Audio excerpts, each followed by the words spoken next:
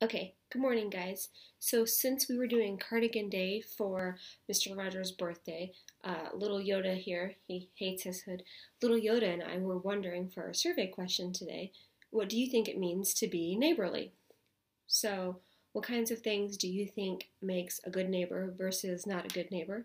And if you have any examples of that, that would be a great thing for you to include in there. So, for example, um, one thing that I think makes a good neighbor is having a neighbor that you feel like you could go to if you needed anything.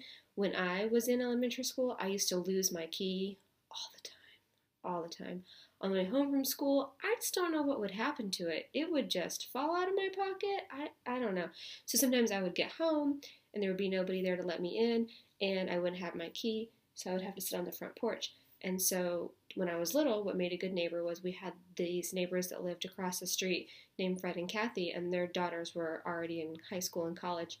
And um, if I got locked out of the house, I could go over there and I could stay there until my parents came home from work.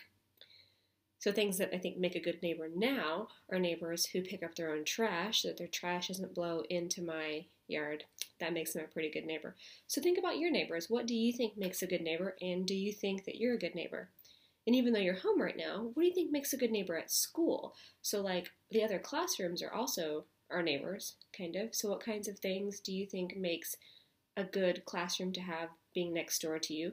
Or a good neighbor, like a person who sits next to you, because I know some of us it really bothers us when when um, people's stuff like starts to creep over onto our desk.